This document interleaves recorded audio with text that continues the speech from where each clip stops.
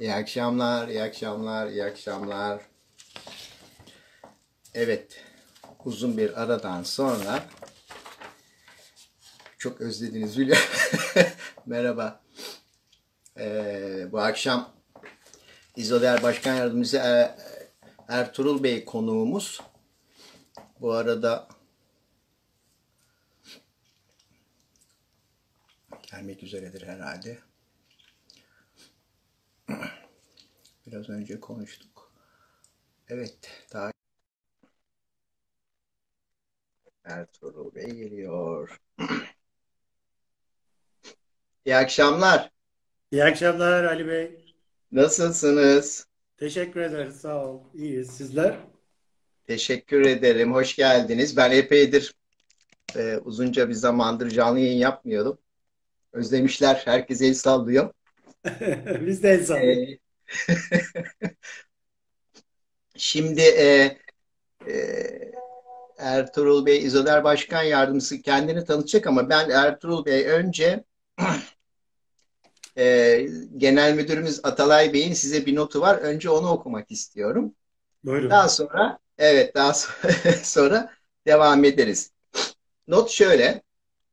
Uçsuz bucaksız bir inşaat pazarı ve bu geniş çatı altında farklı dinamikleriyle güçlü bir yer edinmiş olan izolasyon sektörünün en klas ve beyefendi isimlerinden ve son dönemde İzoder bünyesinde birlikte görev yapma şerefine nail olduğum Sayın Er- Ertuğrul Bey'e davetimizi kabul ettiği için teşekkür ediyor ve çok keyifli sohbetler diliyorum.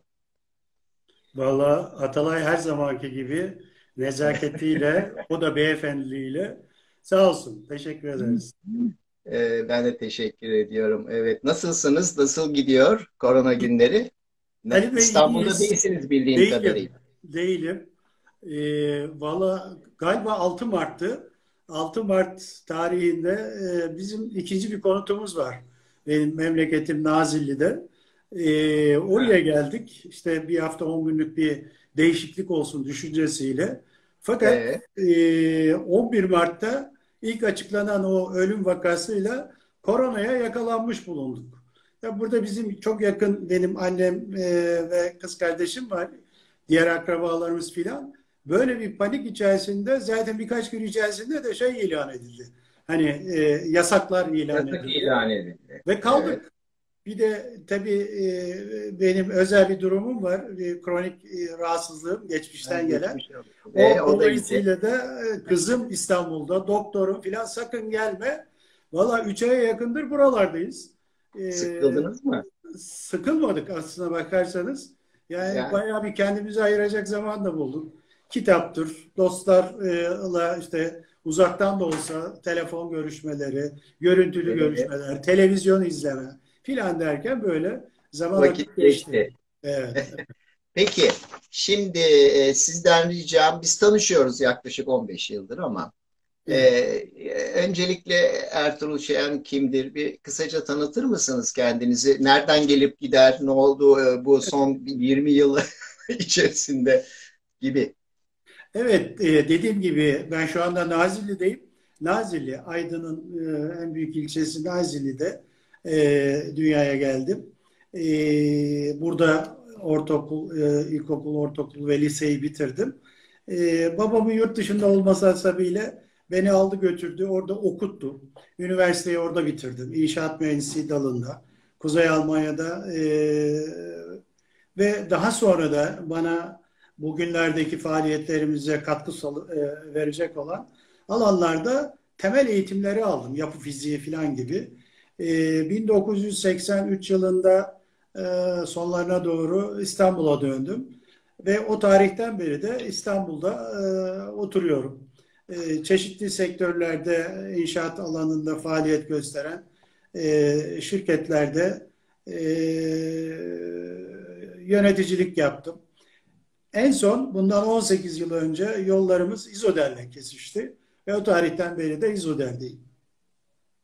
E, evet, bayağı olmuş ya. Evet, yani bir 35 yıl falan bir e, iş hayatım oldu. Yaklaşık 35 yıldır dediğim gibi çeşitli sektörler ama ağırlıklı inşaat sektöründe olmak üzere. Bunun yarıdan fazlası da İzoder'de geçti. e, İzoder'le ve yalıtım sektörüyle yollarımız 2002 tarih 2002 yılında e, kesişti ve o tarihten beri de İzoder için, yalıtım sektörü için gayret içerisindeyiz.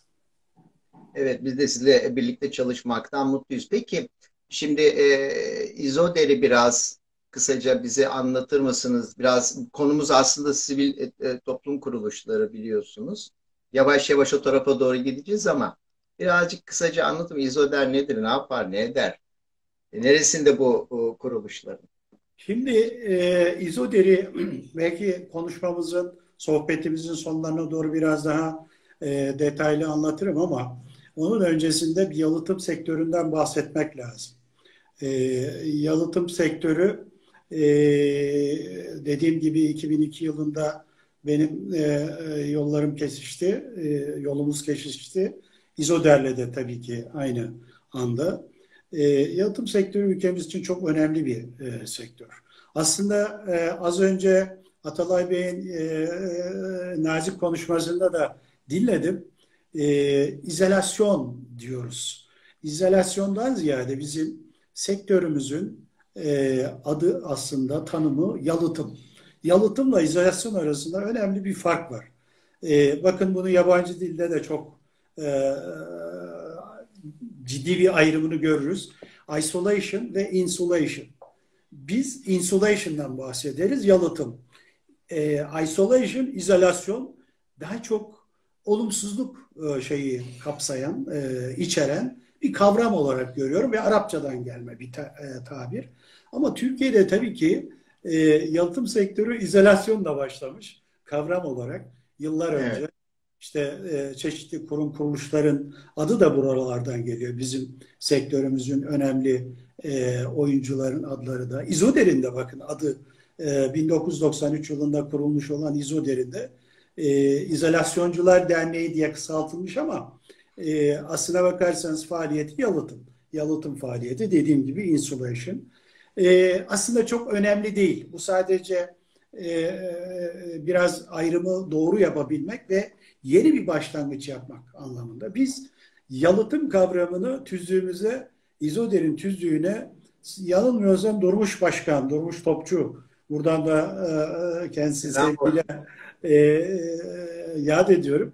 E, Durmuş Bey zamanında ya abi Avrupa'da sen de biliyorsun yalıtım diyorlar, insul, e, insulation diyorlar. Biz de hala izolasyon diyoruz. Gel tüzüğümüze de bunu koyalım diye. Böyle bir şeyle yönetim kurulunda konuyu yalıtıma çevirdik. Ve sanıyorum 2004 yılıydı. 2004 evet. yılından beri yalıtımdan bahsediyoruz. Ee, İzoder'de tabii ki yalıtım sektörün e, çatı örgütü olarak 1997 yıl 93 yılında kurulmuş olan, bugün 27 yaşında olan, olgunluğuna, gençlik çağına erişmiş ülkemizin çok önemli e, sektör kuruluşlarından bir tanesi. Peki e, şimdi bizim sektör kuruluşları arasında şey o sivil toplum kuruluşlarının sektördeki yerini biraz nasıl anlatırsınız bize? Tabii. E, şimdi bir kere sektör tanımı yapmak lazım. Sektör dediğimiz zaman e, bir üretim, bir amaç ve bir e, hizmet e, anlamında bir araya gelmiş kurum kuruluşların e, oluşturduğu platformlara bir sektör diyoruz. Tabii Hı-hı. temel sektörler var. İşte bu işin felsefesine çok girmek istemiyorum. Çünkü, çünkü çok derin bir şey. Ee, birinci e, sektör, ikinci sektör, efendim bir sürü tanımları var. Ee, ama bizim bulunduğumuz şeyde bir ülke ama e, etrafında bir üretim, bunun hizmetleriyle birlikte bütün aktörlerinin oluşturduğu bir yalıtım sektörü diyoruz. Yalıtım sektörü e, tabii ki inşaat sektörü içerisinde bir alt sektör olarak faaliyet gösteriyor. Çok çok da önemli bir e, e, fonksiyonu var. E, inşaat sektörünün altında inşaat müteahhitleri var, inşaat sanayi var. E, inşaatla ilgili tasarım, projelendirme ve e, bu tür hizmetleri veren mühendis, mimar ve teknik adamlar var. Yani üçünün bir aya bir araya gelmesiyle onlar da ana sektörlerden birini yani inşaat sektörünü oluştururlar. Biz ama inşaat sanayinin altında bir faaliyeti olan alt sektör olarak yalıtım sektörü e, diye kendimizi tanımlıyoruz. Ve, ama bu sektörlerin, alt sektörlerin arasında da kendimizi çok önemsiyoruz. E, her anlamda önemsiyoruz. Sadece biz değil, e, herkes önemsiyor. Çünkü fonksiyonları birçok e, şeye fayda sağlıyor. İşte yalıtım dediğimiz zaman bunun altına nelere sokuyoruz? Isı yalıtımı, su yalıtımı, ses yalıtımı, yangın yalıtımı ya da yangından korunma önlemleri diye e, bunları tarif ediyoruz. İzoder de bunların içerisinde sektör kuruluşu olarak, çatı örgütü olarak e, faaliyet gösteriyoruz. Bizimle birlikte faaliyet gösteren sektörde, yalıtım sektöründe e, daha ihtisas derneklerimiz de var. Yani ürün grubu bakımından sadece bir alana fokuslanmış e, e, sektörel derneklerimiz var. E, işte e, Bütüder gibi, Panel der gibi, EPS der gibi bunlar ürün grupları dar faaliyet alanlarında yalıtım sektörüne de hizmet eden e, kuruluşlar e, bunlar da sektör kuruluşu ama biz yalıtım kavramının tamamını kapsamaya çalışan bir sektör kuruluşuyuz. Hem sanayicisiyle hem hizmet vereni, hizmet göreni, ticari faaliyetlerini yürüten kurum kuruluşlarıyla ve tabii ki burada e, teknik hizmet veren e, e, kişileriyle, e, firmalarıyla. Bunların hepsi İzoder'in çatısı altında e, üye olarak bizi oluşturan e, üyeler bu alandan geliyor. Yalıtım sektörünün ısı yalıtımı, su yalıtımı, ses yalıtımı, yangın yalıtımının her türlü aktörlerini bünyemizde barındırıyoruz. Onun için biz kendimizi biraz da çatı örgütü olarak e, tanımlıyoruz e, yalıtım sektörünün. STK ile olan farkımız, STK'lar daha çok e, Ali Beyciğim, burada e, aslında çok detaya girmemek lazım ama daha çok böyle politik, sosyal, kültürel, hukuki ve çevresel konularda e, e, faaliyet gösteren ve eylemleriyle e, lobi ve ikna faaliyetleriyle çalışma yapanlara biz daha çok STK diyoruz. Ama İzoder'in öyle bir konusu var ki yalıtım konusu e, biraz da sosyal bir boyut içeriyor. E, STK'ya hani göz kırpan ya da o tarafta faaliyeti olan, sosyal boyutu olan e, bir tarafı da var. Yani biraz STK ama daha çok bir sektör kuruluşu olarak faaliyet gösteren bir derneğiz. İzoder, Isı, Su, Ses Yangın Yalıtımcıları Derneği. Peki ülkemizde e, ülkemizde bu tip kuruluşlara e, nasıl söyleyelim değer, e, gücü var ne kadar gücü var değer veriliyor mu İzoder bu burada nerede yani e, e, etkisini istediği gibi kullanıyor mu ya da kullandır müsaade ediyorlar mı Na, nasıl geçiyor bu şey nasıl oluşuyor bu işler Şimdi aslında bakarsanız e, şimdi demin sektörlerden bahsettik ya işte kamu sektörü diyoruz. Efendim özel sektör diyoruz. Bir de üçüncü sektör tarafı var. İşte bizim gibi dernek, oda ve benzeri kurum kuruluşların bulunduğu taraflar. Bunlar bir e, e, modern demokrasinin e, paydaşla, paydaşları. Bunlar e, olmazsa demokrasi içerisinde e, olmazı olan taraflar. Yani kamu kuruluşları, devleti oluşturan bakanlıklardan tutun da bunların ilgili kurum kuruluşları. E, diğer taraftan özel sektör, kar amacıyla ortaya çıkmış ve e, ülke ekonomisine fayda sağlayacak önemli kurum sektör. E, bir tarafta da üçüncü taraf işte STK'ların ve derneklerin olduğu bir yer. Şimdi bu noktadan baktığımız zaman demek ki demokrasinin, demokrasilerin, modern çağdaş demokrasilerin önemli bir ayağını biz oluştururuz. Demin de söyledim ya, işte Avrupa'da eğitim aldık diye. Ee, Almanya'da bugün baktığınız zaman bu tür üçüncü sektör kuruluşların sayısı bizim neredeyse e, işte resmi rakamlara bakarsak e, 100 katı fazla e, e, dernekleşme ya da üçüncü sektör kuruluşları var.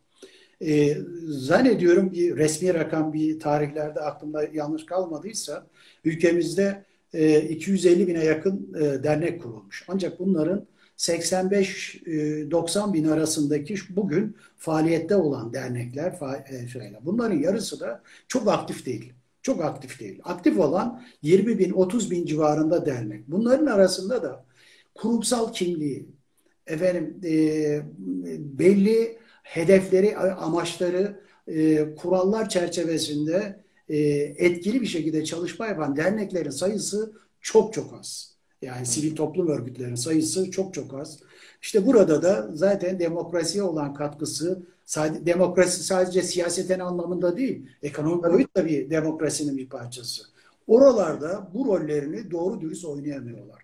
Tabii ki e, işte demokrasinin bu ayağını güçlü kılabilmek için bu yapıların da güçlü olması lazım, kurumsal olması lazım. Efendim, Aynen. profesyonel kadrolaşması lazım. Konusuna hakim olması lazım. Ve ortak akıl üretim merkezi olarak faaliyet gösterebilecek yapı, yapıyı oluşturması lazım. Nasıl yapılanmalı abi bunlar? Yani iş başlarken nasıl yapılanmalı? Nasıl bir e, nasıl bir altyapıyla başlamalı ya da nasıl bir bilgiyle başlamalı? Nereden yardım almalı? Nasıl olmalı sence? Şimdi e, bir kere e, konusuna çok hakim olması lazım. Ben biraz bizim İzoder'le böyle örnekler vererek yürümeye çalışacağım buradaki tanımı doğru yapabilmek adına. Bir kere konusuna hakim olması ve dediğim gibi 27 yaşına gelmiş bir dernek sayısı ülkemizde çok fazla yok. Yani evet. kuruluyor 3 sene içerisinde 5 sene içerisinde çeşitli sorunlarla boğuşmaktan e, pasifize oluyor, kapanıyor, gidiyor, e, aktivitesini kaybediyor. Şimdi İzoder tabii ki ilk kurulduğu yıllardan itibaren bir kere konusundaki önem dolayısıyla güncelliğini ve dinamizmini kaybetmemiş. Ama ne zaman e, faydalı veya çok etkili olmaya başlamış? Kurumsallığını be, e, kurumsallığı benimsemeye başladığı tarihten itibaren. Ben demek istemiyorum benimle birlikte başladı ama hakikaten birlikte başladığımız 2002 yıl tarihi, 2002 tarihi yılı e, İzoder için bir dönüm noktası. O tarihte e, bünyemizde dört arkadaş vardı. İzoder'in bünyesinde. Dört. Benim geldiğimde iki tane e, profesyonelimiz, bir tane de sekreterimizle beraber e, dört kişilik benimle birlikte dört kişilik bir ekip oluştu. Şimdi buradan itibaren başladık. Tabii ki ilk yaptığımız işlerden bir tanesi misyon ve vizyon kavramlarını yeniden ta, e, tarif etmeye başladık. Bakın bir derneğin öncelikle vizyon ve misyonu ne amaçla ve ne tür hedeflere doğru gitmesi gerektiğini tanımlaması lazım. Ee, tabii ki derneğin kendisini oluşturan, dernek adı üstünde üyelerden oluşan bir yapı.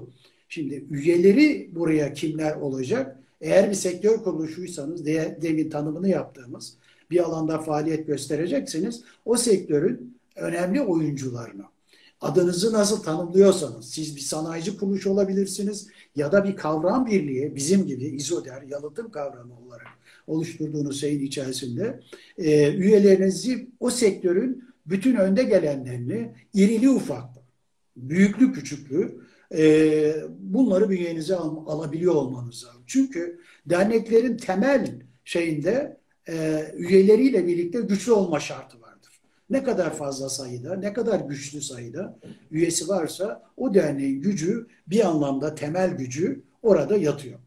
Onun dışında tabii ki e, bizimle beraber dediğim gibi 2002 yılında itibaren derneğin profesyonelleşmesi. Tabii ki dernek yapısına baktığı zaman derneğin üyelerinden oluşan bir genel kurulu var. E, bütün iradenin toplandığı bir yer. Tabii ki yüzlerce dernek üyesinin bir araya gelerek derneği yönetmesi mümkün değil.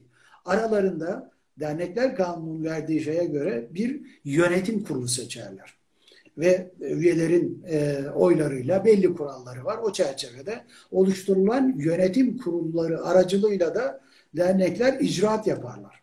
O demin söylediğim belirlenmiş olan vizyon ve misyon çerçevesinde ve onun da altında e, yapılan çalışmalarla belirlenmiş eylem planlarıyla kısa, orta ve uzun vadede neler yapacaklarını, hedeflerini kim, hangi kaynak ve e, e, e, nerelerde, hangi zaman diliminde yapacağını tanımladığı eylem planlarıyla harekete geçer. Tabii ki bu eylem planlarını yapacak olan e, yönetim kurulu değildir. Yönetim kurulu alınan kararların, daha doğrusu e, genel kuruldan gelen gücüyle birlikte aldığı kararların o belirlenmiş stratejilerin, eylem planlarının doğru yapılıp yapılmadığını e, ta, e, takip eden bakan taraftır. Ama esas e, nedir? E, o işin icraatını yapacak olan eylem planlarını ve e, e, kısa, orta, uzun vadeli çalışma stratejileri e, yürütecek olan profesyonel kadrodur. Bakın bugün ülkemizdeki derneklerin temel e, zafiyeti ve eksikliği e, bana göre buralarda yatıyor. Profesyonel kadrolar. Çünkü yönetim kurulları üyelerin arasından belli zaman dilimi için seçilen, iki yıllık ya da üç yıllık süreler için seçilen, aslında kendi asli faaliyetleri olan, ya üretimde bir yerlerde genel müdürdür, patrondur ya da bir yerin üst yöneticisidir, e, firma sahibidir. Onlar zaten buraya fahri olarak zaman ayırarak gelirler.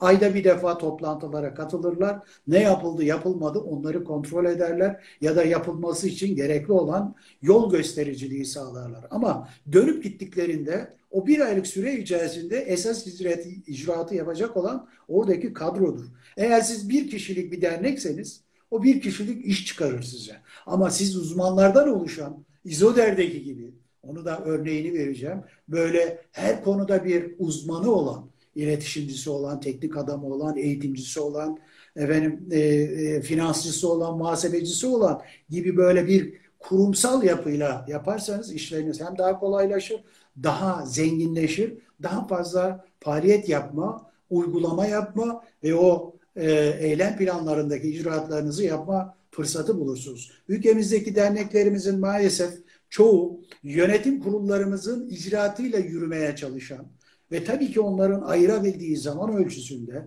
başarılı olan, bana göre başarısız olan ve eksikliğini duydukları e, profesyonel kadronun e, bir de tabii liyakatlı olması lazım. Şunu demek istemiyorum. Oraya doldurabilirsiniz. Üç tane, beş tane emekli. Ben kendim de emekliyim ama emekli olmanın tanımını e, tırnak içinde koyarak yani bitirmiş zamanını, ununu asmış, eleğini duvara, ununu elemiş, eleğini duvara asmış kişiler olarak tanımlamıyorum. Emekli olacak ama icraat yapabilecek e, kişilerden oluşan bir kadrosunu orada barındırması lazım. İşte bunlar olmadığı zaman işte derneklerimizin e, faaliyetleri kısıtlı oluyor, az oluyor, etkisiz oluyor ve maalesef bir süre sonra da çeşitli kavgalar ve şeyler içerisinde kaybolup gidiyor. Siz bu arada anlatırken aradan bir e, soru geldi. İzoder'in e, 2000 e, hedeflerine bugünkü e, bugüne kadarki hedeflerinde ulaşmış mıdır? 2000 için 2020 içinde hedefleri e, nedir gibi bir soru geldi o arada. Onu da bu arada söyleyeyim size tam bu konuyu sıcak yerim. Bir kere dedim ya e, İzoder'in e, stratejik planlaması içerisinde kısa, orta ve uzun vadeli hedefleri var. Kısa vadeli nedir? Bir periyot içerisinde, yönetim kurulu periyot içerisinde yapılması gerekenler. Bugün bu 3 yıllık bir süredir. 5 e, yıllık e, süreler içerisinde yapılacak olanlara orta vade, 10 e, yıllık ya da daha üstü vadelerde hedefleri olan konularda uzun vadeli eylem planları. Tabii ki bunlar zaman içerisinde güncellenir. Bir periyot sonunda İzoder'de hep böyle yaptık biz bunu. Yeni bir yönetim kurulu periyodu başladığında başkanla hemen oturulur, bir arama toplantısı yapılır ve stratejik planlar gözden geçir. Neye eriştik? Hedeflerimizde neleri yakaladık? Bunlar gözden geçirilir. Bazıları güncellenir, bazıları yenilenir ve böylelikle e, o kısa, orta ve uzun vadeli hedefler e, güncellenmiş olur. Tabii ki geçmişte kısa vadeli hedeflerimiz oldu. Orta vadeli hedeflerimizi de yakaladık. Nedir bunlar dersek örnekler vermek gerekirse bir kere çok uzun vadeli olanı e, bizim e, ülkede yalıtım bilincinin oluşmasını sağlamak. Yani bu e, mücadele etmekle bitmez. Sürekli hem yeni bilgilerle hem de ulaşamadığımız noktalara da ulaşacak şekilde bizim e, iletişim stratejimizin temelini oluşturan e, asıl uzun vadeli e, eylemimiz olan bilinç oluşturma şeyinde bu devam ediyor. Bir kere bu bitmedi. Ama bitenler arasında orta vadeli e, hedeflerimiz arasında mesela yalıtım sektörünün şu anda ihtiyaç duyduğu e, güncellemeyi dışarıda bırakıyorum. Hiçbir mevzuatı kalmadı. Bütün mevzuatlarımızı çıkardık. Saydığım o dört ana branşımızdaki e, ısı yalıtımı, su yalıtımı, ses yalıtımı ve yangınla ilgili bütün mevzuatlar bu süreç içerisinde izodelin katkılarıyla tabii ki karar vericiler nezdinde işte burada geliyor bakın.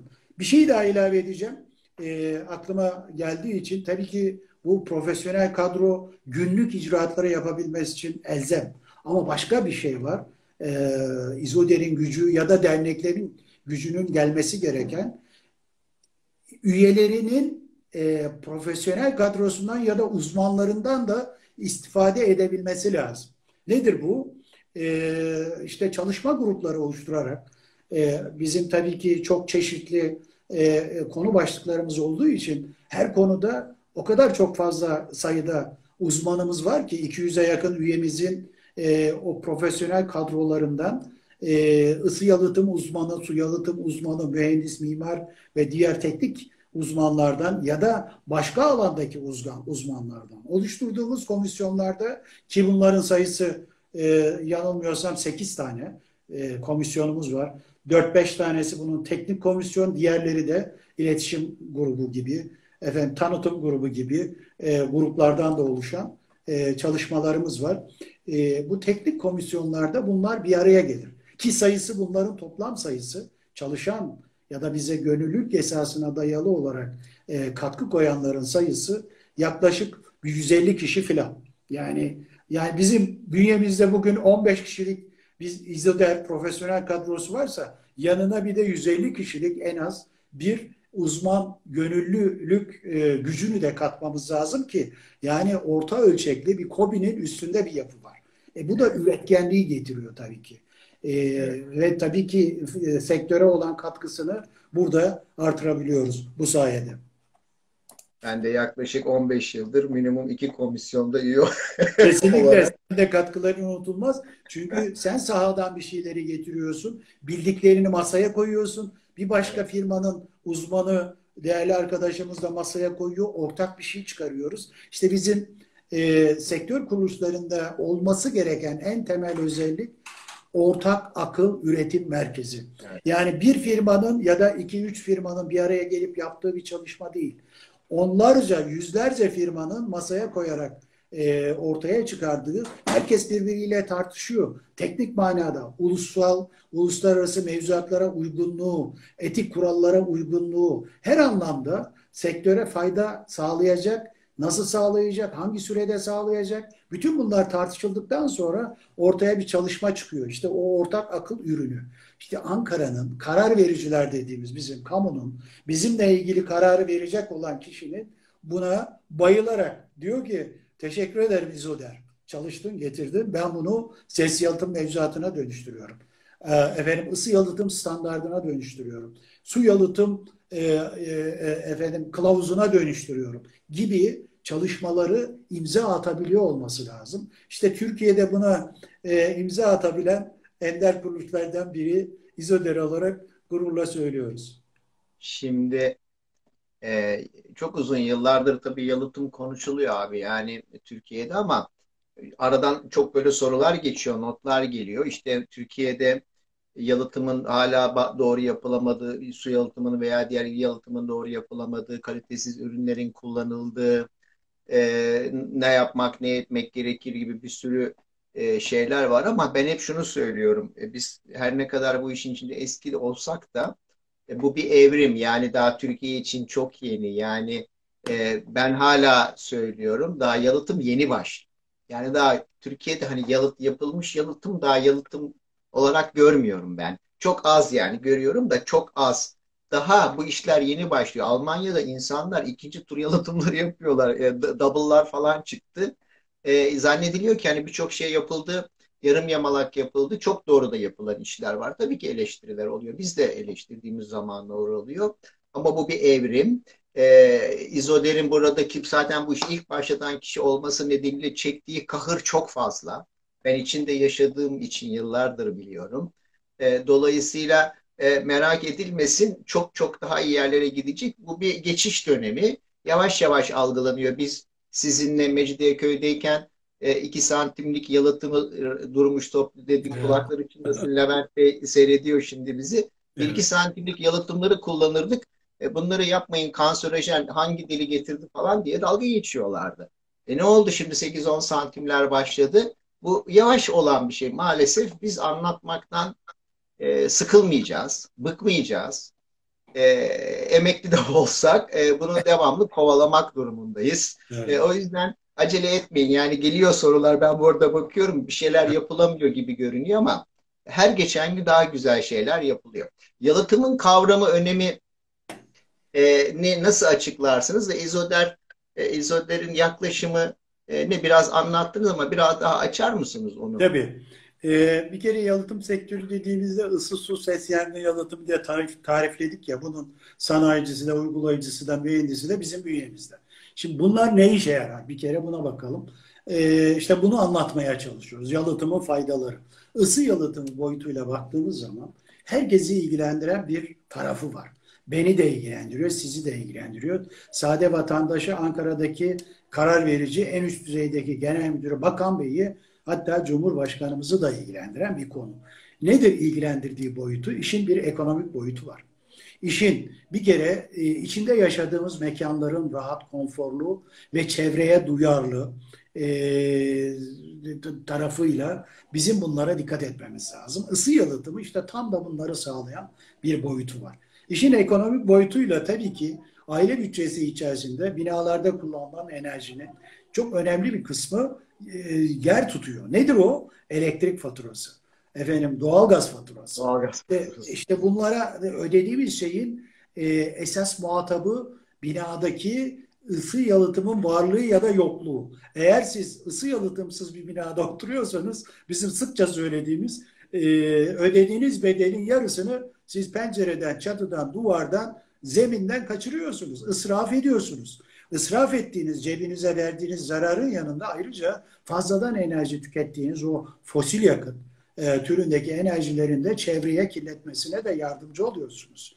Ve e, oturduğunuz binada bir odadan bir odaya geçerken ısıtılmayan bir odada bir sobalı bir yerde ya da bir odada ısındığınız yerde öbür odaya geçerken soğuk, konforsuz bir ortam yaşıyorsunuz. Ya da doğru yalıtılmamış bir binada e, binanın e, oturduğunuz odanın ortasındaki sıcaklıkla duvarlara yakın yerlerdeki ısı farkından kaynaklı bir cereyan etme, insan vücudunda algılayabileceği olumsuz bir yaşam ortamına muhatap oluyor. Yani bütün bunlar e, dediğim gibi sebebi e, ısı yalıtımsızlık. Bakın insan sağlığıyla ilgili, ekonomisiyle de ilgili, çevresiyle de ilgili ve konforlu e, yaşam alanlarıyla da ilgili bir tek boyutlu ısı yalıtım. Arkasından geliyoruz su yalıtımına. Ne kadar önemli bir yer. Şimdi bizim ülkemiz bir kere betonarme yapı sistemiyle e, deprem dolayısıyla inşa edilen binalarla dolu. Bugün işte 12-13 milyon e, binadan bahsediyoruz. Yaklaşık 22 milyon konuttan bahsediyoruz. Bu konutların e, neredeyse yüzde e, 99'u e, betonarme yapı sistemi. Yığma bina ya da betonarme yapı sistemi. Şimdi bunların beton dediğimiz o taşıyıcı unsurların kiriş, kolon, perde, duvar gibi yerleri suyla muhatap olduğu zaman zemin suyu, yağmur suyu, efendim, e, ıslak hacimler, şuralar, buralar, buralardaki su yalıtımsızın getirdiği bir şeyle korozyona uğruyor, depremde daha kolay yıkılıyor. Dolayısıyla yapı güvenliğini etkileyen bir su yalıtımı var. Yine sağlıksız bir ortamda yaşamanın e, pastı, efendim e, şeyde e, binaların e, nemden dolayı, rutubetten dolayı e, sağlıksız ortamlarına da muhatap oluyorsunuz. Gürültü ki en fazla bizim İzoder'in ücretsiz bir hattı var. En fazla e, şikayet edilen konulardan biri de ses yalıtımsızlığı dolayısıyla. Yani üst komşunun gürültüsü ne yapacağım ben diye telefon eden bize ücretsiz hattımızı arayan vatandaşlarımız var. E, sesin ya da gürültünün, ses sadece üst komşudan gelmiyor. Sokak gürültüsü var, trafik gürültüsü evet. var. E, televizyon gürültüsü var yan komşudan. Dolayısıyla bu tür e, şeylerin de yarattığı e, çeşitli sağlıksız stres kadar iş ortamında bulunuyorsanız eğer böyle bir gürültüye maruz kalıyorsanız sağlıksız bir takım şeylerle kanıtlanmış 35 35'e yakın yakın gürültünün yarattığı bir sıkıntı var. Rahatsızlık var. İşte bunları da engelleyen bir ses yalıtım tarafımız var. Yangın can güvenliğini ilgilendiriyor. Yani bütün şeylere baktığınız zaman, yalıtım branşlarına baktığınız zaman ekonomiyle ilgili, çevreyle ilgili, yapı güvenliğiyle ilgili, can güvenliği ve insan sağlığıyla ilgili. Yani tümü insan yaşam, konfor ve sağlığıyla ilgili yalıtım tarifi altına giriyor. İşte biz bunları sağlayan bir e, ne diyelim e, konjüktürel, stratejik e, bir önemimiz var. Kendimizi e, önemsememiz biraz da buralardan geliyor. Önce bunlara biz farkına varacağız. Sanayicisiyle, oyuncusuyla, aktörüyle. Ondan sonra bunları bizim anlatmamız gerekiyor. İşte bunu yapmaya çalışıyoruz. İzoder'de bunu yapabilecek e, altyapı, bakın şimdiye kadar ben biraz profesyonel kadrosundan bahsettim. İzoder'in başka imkanları da var. Mesela bir şirketi var. Bir anonim şirketi var. Bir derneğin dernek olarak bir anonim şirketi var. TEBAR, Test Belgelendirme, Araştırma, Geliştirme Anonim Şirketi sektörüyle ilgili. E, ürünlerin standartlara uygunluğundan tutun da piyasaya arz edilirken gereken o C işaretlemesi ya da ihraç edilirken gereken C işaretlemesini verebilen bir e, şirket, akredite bir yapısı var. Uluslararası belgesi tanınırlığı olan bakanlıkça, Çevre Şehircilik Bakanlığı'yla tanınmış olan bir anonim şirketi var. E, İzoder'in gücü biraz da buralardan geliyor.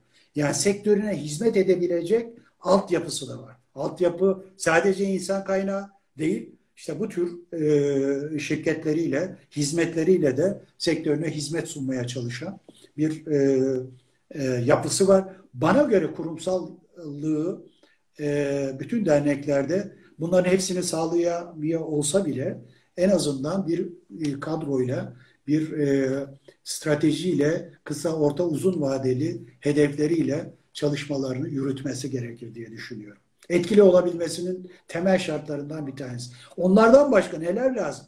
Bağımsızlık lazım. Bakın tarafsız olabilmesi lazım. Objektif olabilmesi lazım. Kurumsallığı güçlü, profesyonelliği güçlü olmasa uzlaşıcı olması lazım. Uzlaşıcı sadece kendisi ya da üyeleriyle değil, kamuyla uzlaşması, vatandaşlarla uzlaşıyor olması lazım. Ee, yani benim dediğim doğru sadece bu kurallar değil bir uzlaşı kültürünü geliştirilmesi lazım. Başka e, e, sektörlerle iş içeriği, onlarla olan ilişkisini güçlendirmesi lazım. Etik kurallarla çalışması lazım. Sürdürülebilirliği yakalıyor olması lazım. Yani bu sadece e, evet. güncel bir konuda değil, bunun dışında da sürdürülebilirlik dediğimiz şeyde mali yapıda sürdürülebilirlik sağlanması lazım. Yani bu çok çok önemli. Mali yapıyı kısaca bir girmek istiyorum Ali Beyciğim. Senin sorularına doğru, bakıyorum. Bu mali doğru, yapı doğru. sürdürülebilirliğin en temel ögesi. Bugün derneklerin en temel gelirlerinden bir tanesi üye aidatlarıdır. Yani üye aidatlarının dışında başka geliri yoksa o derneğin sürdürülebilirlik e, elde etmesi mümkün değil. Yani işte krizler yaşıyoruz. Salgın oluyor, ekonomik kriz oluyor, bir başka kriz oluyor. O zaman firmalar, üyeler zora girebiliyor. Zora girdiği zaman ilk tasarruf etme yoluna gittiği şeylerden bir tanesi de bu tür yerlere üyeliklerini bir gözden geçirir. İşte burada siz sadece buna bağlı bir dernekseniz işte o sıkıntıya girersiniz. Evet. Yani orada sizin alternatif gelir kaynakları yaratmanız lazım. Biz sektöre hizmet verirken bu şirketi kurma sebeplerinden bir tanesi de işte İzoder'in daha iyi hizmet verebilmesi, sürdürülebilir bir hizmet yakalayabilmesi için bu tür gelir kaynakları olması lazımdı. Onun için kurduk. Tabii ki temel şeyimiz karı çok faiz tutarak ya da e, kar edeceğiz mantığından öte önce işte bu hizmeti verebiliyor olmak lazımdı. Başka gelir kaynaklarına yönelmek lazım. Örneğin Avrupa Birliği projeleri. İzoder bu konuda çok ciddi çalışmalar yaptı. Bugünkü kadromuzun temel başarılarından bir tanesi de budur. Yani bugüne kadar yanlış hatırlamıyorsam 8-10 tane Avrupa Birliği projeleri. Mesela bu şirketimizin e, finansmanını sağladığımız bir proje yürüttük. Yani e, bu şirketin e, laboratuvar altyapısında finansman elde ettik. E, bir laboratuvarı var. Birkaç milyon TL'lik yatırım yaptığımız İzoder'in e, sahip olduğu TEBAR AŞ'nin laboratuvar altyapısını güçlendirdik. Şimdi döndük ülkemizde yalıtım sektöründe gelen sorulardan bazıları hani biraz böyle hızlandım süret, süret mesleki TEBAR'ın altında şey de vardı mesleki yeterlilik çalışmaları. Evet. Hemen arkasından ülkemizin, e, sektörümüzün, yalıtım sektörünün ihtiyaç duyduğu e, ustaların standartlarını e, üçüncü derecede Avrupa ile uyumlu, Avrupa Birliği ile uyumlu üçüncü derecede standartlarını oluşturduk ki ilk oluşturan sektörlerden evet. biridir İzoder. Sizler evet. sayesinde, sizlerin o Evet, evet. Ben birçok birçok ustamıza belge aldık oradan şirketimizde arkadaşlarımıza, ustalarımızla Ali'cim ondan öte vardı. Bir sürüydü yani. Ali'cim ondan öte sizler bu işin standartını hazırladınız, Tabii çalıştınız, ki. ortaya koydunuz. O Ankara'daki standartlarda çok çalıştık. Hatta ay, ay, e, belgeyi verirken yanlış yanlışlıkla değil de bilmeden e, cephe yalıtımı, çatı yalıtımı, mantolamayı ve bilmem neyi dördünü bir arada tek imtihandı da biz onu parçaladık hatırlıyor musunuz? Bir evet, sene uğraştık. Mantolama yani. bir ayrı bir meslek standardı çıktı. Yani evet, burada evet. E, anmadan edemeyeceğim. Tabii bu çalışmalarda bizim profesyonel kadrosu içerisinde bugün genel sekreterliğimizi yapan Timur muhteşem bir insan. Yalıtımın Türkiye'deki 3-5 tane adamından biridir. Bu tür hazırlıkların temelinde şeyinde onlar. Diğer arkadaşlar hepsi İlgi Hanım, Seyran Hanım, Güneş Hanım herkes hepsi, bu, bu konuda e, sanki Türkiye'de yalıtımı e, ocağında, mutfağında soğan doğrayan, patates soyan, efendim aşçılık yapan hepsi birer yanlarında çok sizlerde çok önemli bir destek verdiniz. Çok haklısınız. Çok Bence haklı. İzoder'in başarısında temelinde yatan şey bu güç birliği, bu e, bu bu bu e, sektöre verilen önemin ve farkının farkına varılmasının temelinde yatar. Onun ötesinde tabii ki sürdürülebilirlik dedik. Bu mali yapının olmazsa olmazı gelir çeşitliliği oluşturulması lazım. Sadece üyelerinin e, verdiği aidatlarla ayakta durması mümkün olmayan çok derneğimiz var. Çok dernek var. Yani biz bu e, şeyde e, sürdürülebilirlikte bu finansman şeyinde bir ara bütçemizi hazırlarken tabii İzoder bütçeyle çalışan bir şey. Evet. Sene başında yapar, yönetim kuruluna götürür, genel kurulda onaylatır. Bazen üye aidatları bizim üye aidatlarımız e, bütçemizin içerisinde yüzde 25'lere falan indiğini biliyorum ben. Yani yüzde 75'i bizim e, başka kaynaklardan elde ettiğimiz gelirlerimiz oldu. Tabii bu zamanla değişebiliyor. Yüzde 50, yüzde 75'e kadar e, e, çıkabiliyor. Şimdi bu sürdürülebilirlik tarafında önemli bir kısım. Güven, itibar e, ve uzmanlık gerektiriyor. Konunuza hakim olmanız lazım. Yani kimle muhatapsınız siz? Bu demin söylediğimiz uzun vadeli eylem planınızdaki iletişim stratejinizi yürütebilmek için uzmanlığınız gerekiyor. Konunuza hakim olmanız lazım. İletişim Kesinlikle. olarak planlar, e, aktiviteler hazırlamanız lazım.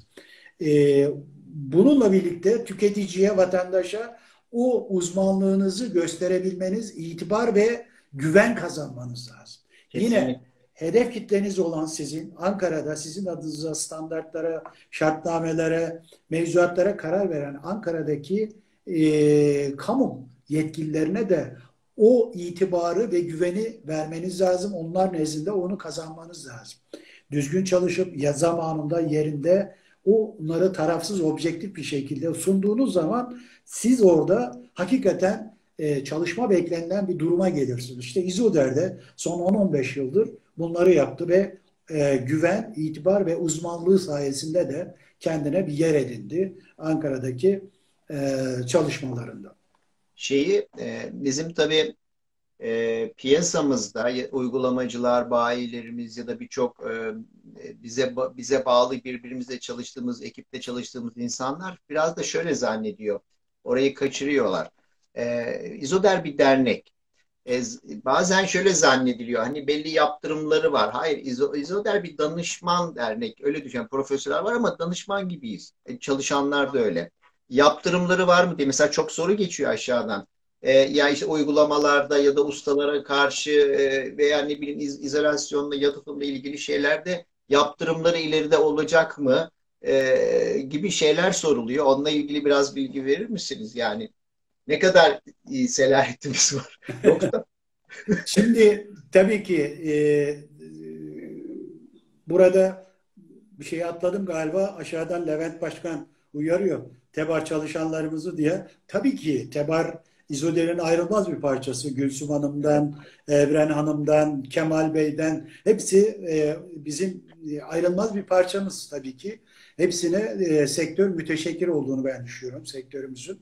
Şimdi tabii ki yaptığımız işin kalitesi tabii ki standartlar çerçevesinde ve şeyler uygulanırsa, şartnameler, kurallar uygulanırsa ve doğru kişiler uygularsa e, doğru işler çıkar. E, ancak e, bizim dışımızda yani sektörün kendi inisiyatifleri dışında e, eğer e, bir takım şeyler varsa onları biz denetleyemiyoruz. Bizim dernek olarak yetkimiz yok. İşin denetim ayağı çok önemli. Bu tamamen e, kamunun elinde olan bir yetki. Bir zamanlar benim bizim çatı örgütümüz İmsat'ta bulunduğum zamanlarda, yönetim kurulunda bulunduğum zamanlar, orada da tecrübelerimiz oldu. 2-3 yönetim kurulunda görev yaptık İzoder adına. Ee, Ankara ile bunu çok tartıştık. Ankara'ya dedik ki ya bu yetkinizi bizimle paylaşın. Biz e, kurumlarımızı, altyapımızı ona göre oluşturalım. Bu denetim konusunda biz de görev alalım. En azından kendi sektörümüz için. Çünkü biz tarafsızız. Objektifiz ve denetimleri bir firmanın değil, bütün sektörün denetimini yapabilecek duruma gelebiliriz. Çünkü sizin zamanınız, kalifikasyonunuz ve o kadar çok denetlemesi gereken iş ve konu var ki iş kolu yapamıyor, yetişemeyebiliyor. Dolayısıyla aradan kaçanlar bizim sektörümüzde böyle hızlı gelişen, çok çabuk gelişen bir sektörse arada sıkıntılar olabiliyor. Bir kere buradan kaynaklanan bir şey var, denetimsizlik. Hızlı gelişmenin getirdiği bir şey var. Ee, sektöre katılan oyuncuların e, kalifikasyonu konusunda sıkıntılar var. İşte bütün buralarda bu denetim konusu Ankara ile de uzlaşarak ya da Ankara'nın daha etkin bir hale gelmesini sağlayarak bunların ortadan kalkabileceğini düşünüyorum. Aksi takdirde bugünkü sıkıntıların biraz devam etmesi muhtemel diyorum. Çünkü hakikaten kamu buna yetişemeyebiliyor. Ama denetimsizlik de bizim yaptığımız işlerin iyi yapılanların da üstüne bazen sıkıntı yaratıyor. E, çünkü tüketici nezdinde ya da nihai kullanıcı nezdinde bu da bazen güveni törpeleyebiliyor. Ya da yapılan işi şey yapabiliyor. Ya yalıtım yapılanları görüyoruz. Ne gerek var? Ya ben tasarruf edemedim. Ben efendim fayda sağlayamadım şekline dönüşebiliyor. Bu da çok çok önemli bence. ben yaptım bir şey fark etmedi falan diyor.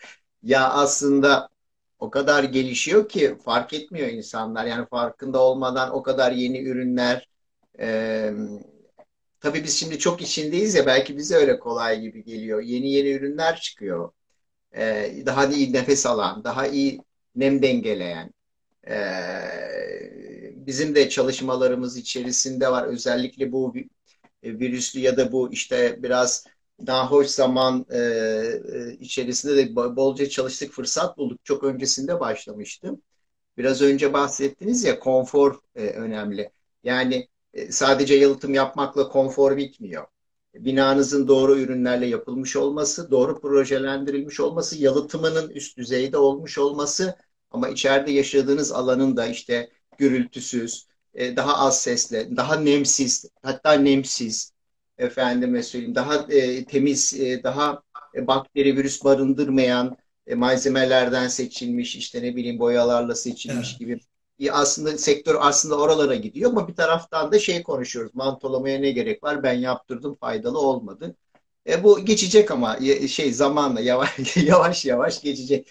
Peki şey aklıma geldi. Şimdi e, epeydir de toplantı yapmıyoruz e, birazcık daha bizim kalabalıklaşmamız gerekiyor. Ben hani uzun yıllardır e, katılıyorum. Özellikle üyelik ilişkileri e, gibi şeylerde bayağıdır bir toplantı yapmıyoruz. Bir yeni çalışmalar var mı? Çünkü şey var yani sonuçta bir tane izolasyonda İzoder Derneğimiz var bizim.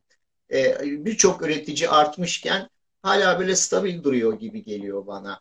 E, var mı yeni çalışmalar, projeler ya da şu bizim şeyler vardı. iki yıldır yaptığımız şehir şehir e, otellerde dolaştık, anlattık, arkadaşlarımız anlattı.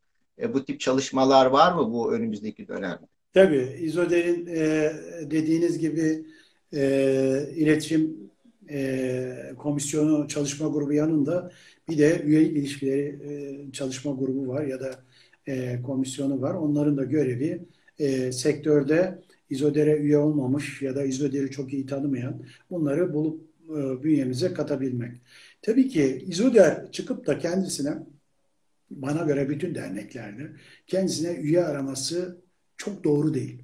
Faaliyetleriyle yaptığı faydalarla eğer kendisi sektörün aktörlerini ikna edebiliyorsa bence kazanımı burada olmalı. Şimdi İzoder bugüne kadar dediniz ya hangi hedeflere ulaştı demin söylerken e, üyesine fayda sağlayabilecek. Tamam sektörün büyümesinden fayda sağlıyor da bir de somut projelerle kendisine bir şey dönüyor.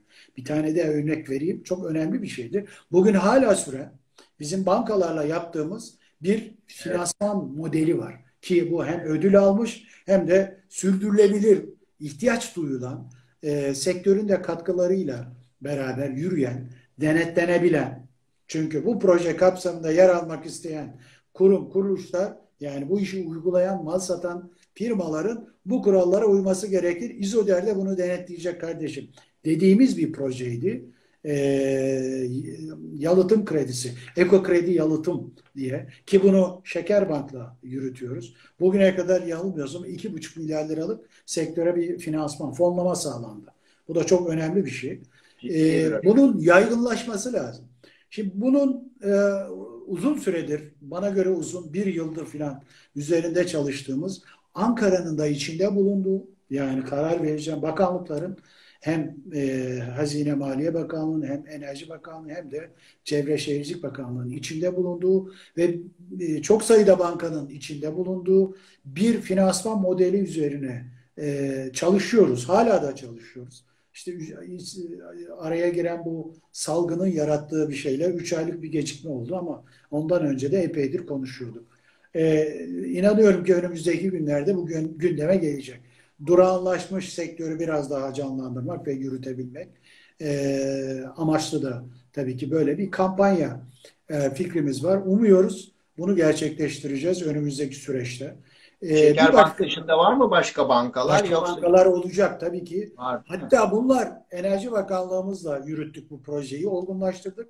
Çevre Şehircilik Bakanlığımız okeyledi ama e, işin temelinde finansman olduğu için yani burada KDV'nin indirilmesi yüzde bire. Efendim onun dışında kullanılacak kredideki e, alınan bazı vergilerin kaldırılması KKDF, BSMV gibi. Hatta içine biraz da sübvansiyon katabilir miyiz diye.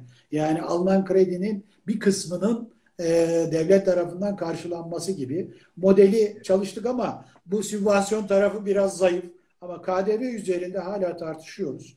Olup olmayacağını bilmiyoruz. Tabii Ankara özellikle bu ekonomik sıkıntılar arasında buna nasıl karar verecek bilemiyoruz. Bu bir taraf. Böyle bir kampanya üzerinde çalışıyoruz. Hala çalışıyoruz. Bir diğer tarafı da e, bizim bu sene başındaki yenilenen genel kurulumuz ve Levent Gökçe başkanlığıyla başkanlığında oluşturulan yönetim kurulumuz üzerinde çalıştığı bir proje olarak da e, biraz ortalık durulunca tabii ki e, Belediyeler Birliği ile bir çalışma olacak. Geçtiğimiz 3 yıllık 2 yıllık süre içerisinde Levent Pelesen başkan zamanında yürüttüğümüz çok başarılı olan Çevre Şehircilik Bakanlığı'yla e, o Türkiye'nin dört bir tarafındaki yalıtım ıı, seminerleri konusunu seminer. bir benzerini belediyeler e, bünyesinde belediyelerin teknik elemanlarını Hı. ve o bölgede görev yapan e, işte denetim e, firmalarının e, yapı denetim firmalarının teknik adamlarını da kapsayan e, son e, mevzuatlardaki gelişmeler e, yeni çıkan mevzuatlar üzerinde seminerler dizisi yapılacak. Bu da orta vadeli bir proje olarak önümüzde duran bir çalışma. E, umuyorum yapılacak. E, tabii ki bu arada e, bu denetim konusunda da kamuya e, denetimi ürün bazında e, yanı sıra bir de e, belgelendirme konusunun da e, denetlenmesi hususunu. Çünkü en iyi malzemeyle siz kötü bir performans çıkarabilirsiniz. Onun için bu konuyu da e, eğileceğiz diye düşünüyorum. Bu belediyelerle ilgili belediyelerle ilgili bu seminerler oluşursa e, bizde ben adayım e, uygulama, gerçek uygulama, gerçek workshop, gerçek malzemeyle, gerçek yapıştırma e, düberleme sıvamaları da işin içine katabiliriz. Başka ya bu konuda bu konuda zaten İzoder kendisi yapacak hali yok. Arkasında dev gibi duran firmalarıyla. Yani Üyeleriyle tamam. birlikte yapacak. Anlatıyoruz ama yani gidip yapıştırmanın da nasıl yapıldığını özellikle belediyelere bu iş çok düşüyor biliyorsunuz. Bu çok önemli. Çok da istiyorlar. Belki fırsat olabilir. Kesinlikle yapılacak ve sizin o deneyimleriniz, sizin o kurumsal yapıdaki bilgi birikiminiz oraya yansıtılmalı. Ve bunları, bunları da sizler gibi e, sanayici firmalarımız, sanayici firmalarımızla birlikte yapacağız. Ali Ee, başkanım yak 2-3 dakika kaldı. Kesilirse kusura bakmayın. Ee, son olarak söylemek istediklerinizi alalım. Otomatik kapanıyor çünkü ayıp oluyor sonra çat diye. Ee, Evet. e, varsa ilaveleriniz lütfen onlara rica edin. Şöyle, tabii ki moraller biraz bozuk. Ee, bu Covid-19 sebebiyle e, hepimiz eve kapandık. Ben bile e, bakın canlı yayınlara oraya buraya katılırken bir heyecan, bir şey duyardık ama bir durağanlaşmışız. Kafada bazı şeyleri e, boşaltmışız. Şimdi bütün bu açılım sonrasında bütün gücümüzle bizim yeniden işlerimizi kavramamız lazım. Üretim belki fazlasıyla durmadı ama biz izole olarak sahaya ve artık tüketicinin e, şeyine ulaşıyor olmamız lazım. Hızlandırmamız lazım. E, özellikle gündemimizi yeniden belirleyen, e, ortaya koyan etkinlikleri ve e, bir takım çalışmaları yeniden hareketlendiren bir sürece girmemiz lazım. Tabii bunun için e, kaynak sıkıntısı, efendim, bu salgının hala yarattığı o psikolojik şeyi de biraz dikkatli bakarak ve e, dikkatli ele alarak e, yürütmemizde fayda var. E, kaş yapalım derken gözü çıkarmayalım. Aynen. E, kamuoyuna ve ülkemize ve çevreye çok faydalı olan bu konunun ülkemizde daha çok bakir olduğunu az önce söylediğiniz gibi katılıyorum. Kesinlikle. E, daha bizim sektörümüzün e, gelişmesi, bakın örnek vereyim batılı ülkelerle aramızdaki farkı bariz görebilmek için daha biz işimizin e, yüzde yirmisini deşifre edemedik. Yani ülkede yapılacak daha yüzde seksenlik iş var. Aldığımız yol En az, en Çok az, en az. çok önemli ama yeterli değil. Ama e, gelişmiş ülkelerle yalıtım konusundaki kişi başına tüketim bile en az 4-5 kat fark var. Biz Evet. bugün kişi başına 0.4 metreküplük bir e, tüketim ısı yalıtımında e, yaparken batılı ülkelerde 1.2-1.5'lik hele hele Kuzey Avrupa ülkelerindeki böyle bizim 5 santim 4 santim kullandığımız kalınlıklarda 15 santim 20 santim 25 santim çatılardaki kullanılan yalıtım kalınları düşünürseniz aradaki farkı görürsünüz. Onlar bizden e, daha zengin olmalarına rağmen bu verimliliğe, bu tasarrufa daha iyi dikkat ediyorlar. Artık yalıtım kalınlığı diye bir şey düşünülmüyor. Her şey olağan. Yapılması gerekir diye düşünüyoruz. Onun için bizim yapacak çok işimiz var. İzoder de burada yapacağı e, işin farkında. Onun için e, destek ve şeyleriniz sizlerden gelecek. Çalışmalarda hep beraber yürüteceğiz. Teşekkür ederiz. Ağzınıza sağlık. Çok güzel bir sohbet oldu. Aslında çok konu var ama biliyorsunuz limitli zaman çok. içinde yapılıyor. Evet. İstanbul'a bekliyoruz. Teşekkür ederim. Geleceğiz En kısa Herhalde zamanda. hafta İstanbul'da Evet. olacağız. İnşallah görüşmek üzere. Saygılar, iyi akşamlar. Saygılar Sağ olun. Selamlar, sevgiler. Sağ olun. Sağ olun.